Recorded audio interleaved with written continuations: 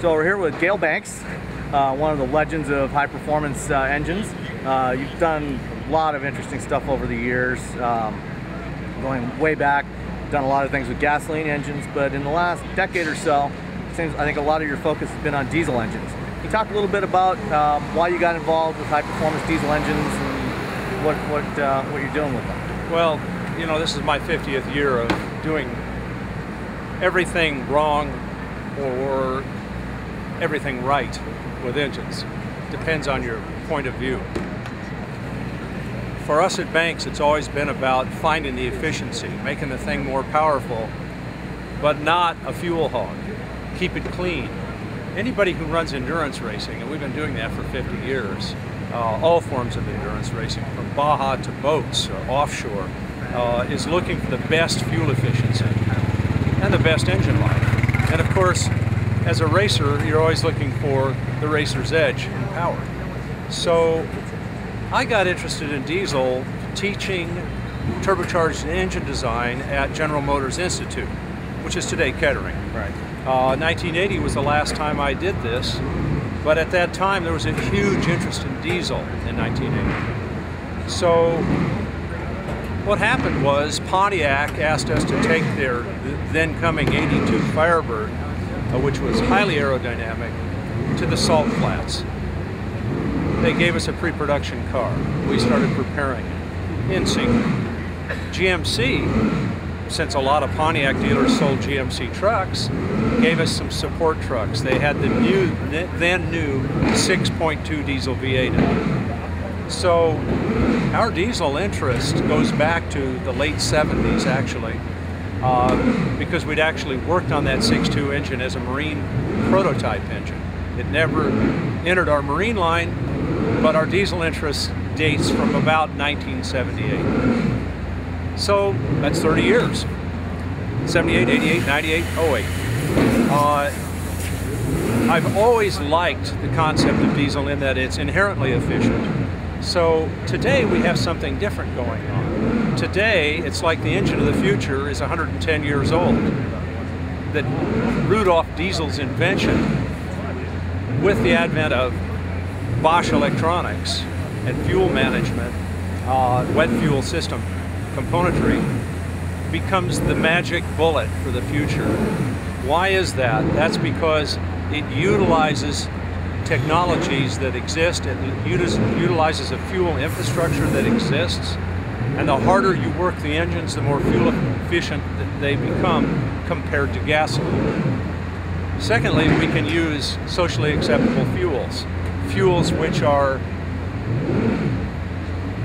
basically made from waste products such as wood chips, weeds that grow in the desert, uh, where you have a low carbon footprint establishing the fuel and, and a lower carbon footprint when you're burning the fuel. It takes us off the foreign oil dependence. We're all looking for, for another way home there. I'm not saying diesel is the only solution, but it is probably the next decade to two decades a key solution. What are, what are we trying to do in California? Well, I come from an area where speed and style and everything else, that's what you do in California. We're kind of the innovators. That's that's our role. A lot of styling studios in California for major automakers from around the country and around the world. California is a, if you will, incubator of the automotive future. We want to, and what we've been doing since 2001 is working on changing the concept of diesel, not that it's green or not. We, the diesel industry has proved that diesel is green.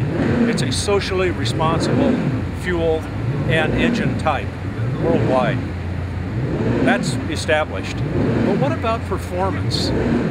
You know, in California, a lot of people think today that diesel is banned in California. Well, that's going to change pretty pretty quickly as the a lot of German cars come in that are 50 state legal diesels.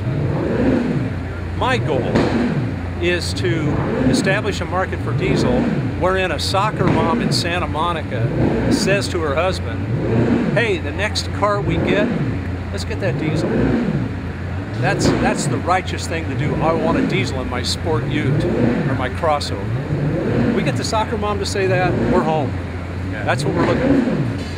And I think we're gaining ground. The first thing we did at Banks was we put together the world's first diesel sport truck.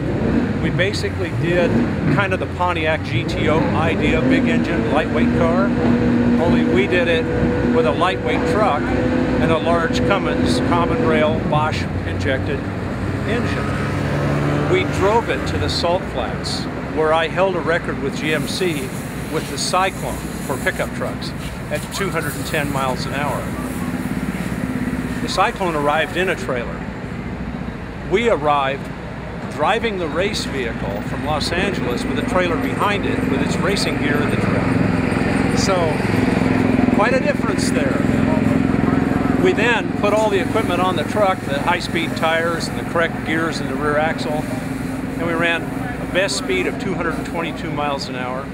We hold a two-way FIA world record of 217 plus. We then took it on the Hot Rod Power Tour from Wisconsin to Florida. It was the fastest, most fuel efficient vehicle on the Power Tour that year. 24 and a half miles per gallon with a 220 plus top speed, driven on the street flawlessly, very reliably.